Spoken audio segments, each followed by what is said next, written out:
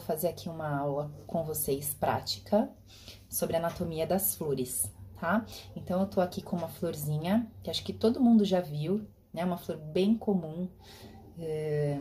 Ela tem aí algumas variedades de cor, né? Eu consegui pegar aqui a rosa, tá? Essa florzinha é chamada de hibisco.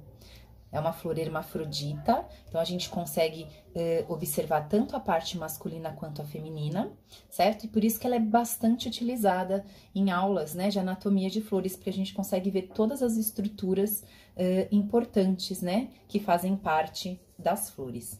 Pegando aqui, olhando assim eh, a estrutura né, total aqui da flor, o que, que a gente já consegue observar logo de cara, né? Vou começar aqui por baixo, olha. Essa estrutura aqui, né, quando a gente pega a florzinha, é o pedúnculo, tá? É a estrutura, então, que liga a flor até o caule, certo? É o pedúnculo.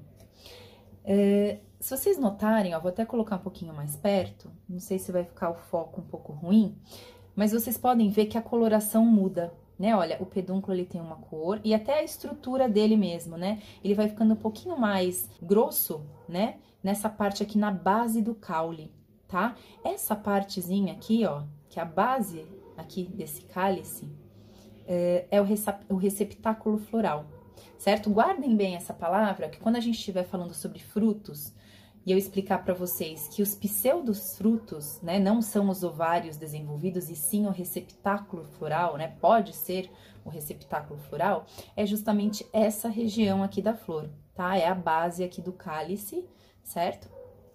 Que é o receptáculo floral, tá bom? Então, guardem aí uh, essa palavrinha, essa estrutura, né, e a localização dela.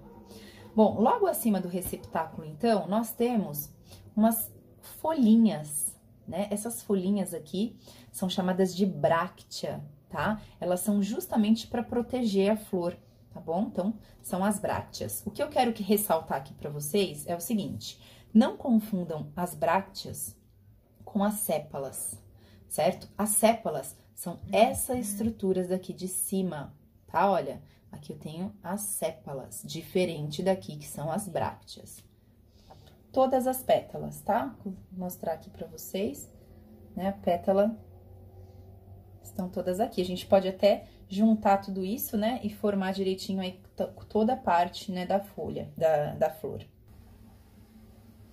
Bom, gente, então, olha, eu tirei todas as pétalas, certo? É, ficou até melhor da gente visualizar aqui o cálice, né, que é o conjunto das sépalas, ficou aqui separadinho embaixo.